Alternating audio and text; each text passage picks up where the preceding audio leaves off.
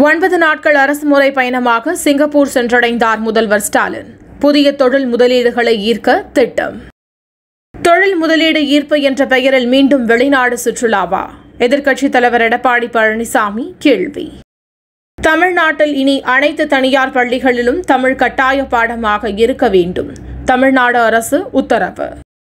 ஒன்று முதல் ஐந்தாம் வகுப்புகளுக்கு ஜூன் ஐந்தாம் தேதி பள்ளிகள் திறக்கப்படும். பள்ளிக் கல்வித்துறை அமைச்சர் அன்பில் மகேஷ் உறுதி. தமிழகத்தில் பள்ளிகள் திறப்பை தள்ளி வைக்க வேண்டும். கோடை வெயிலை குறிப்பிட்டு பாமக நிறுவனர் ராமதாஸ் வலியுறுத்தல். நெல்லை வவுசி மைதான மேற்கூரை இடிந்து விழுந்த விவகாரம். திமுக அரசு மீது அண்ணாமலை குற்றச்சாட்டு. கடலில் பேனா சின்னம் அமைப்பதற்கு தடை விதிக்க வேண்டும். சுப்ரீம் கோர்ட்டில் மேலும் ஒரு மனு தாக்கல். திருநெல்வேலியில் புறவழி சாலையை அமைக்க கட்டாயம் முன்னுரிமை அளிப்போம். அமைச்சர் ஏவா வேலு பேட்டி. யுபிஎஸ்சி தேர்வு முடிவுகள் வெளியீடு. முதல் நான்கு இடங்களையும் பிடித்த பெண்கள். குடிநீர் விற்கும் ஆவின் திட்டத்திற்கு விஜயகாந்த் எதிர்ப்பு. இலவசமாக வழங்க வேண்டிய குடிநீரை வியாபாரம் செய்வது ஏற்க முடியாது என அறிக்கை.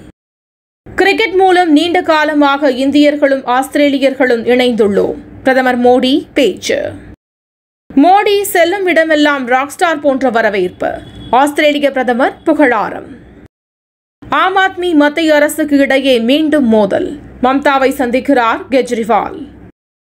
தோனியை சூப்பர் ஹீரோவாக சென்னை ரசிகர்கள் பார்க்கின்றனர். கிரிக்கெட் வர்ணனையாளர் ஹர்ஷா போக்லே பேச்சு.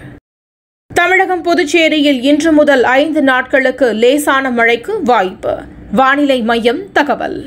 தினம் தினம் நடக்கும் முக்கிய நிகழ்வுகளை தெளிவாகவும் தலைப்புச் செய்திகள் வழியே அறிந்து கொள்ள கியூஎல்என் நியூஸ் சேனலை சப்ஸ்கிரைப் செய்யவும்.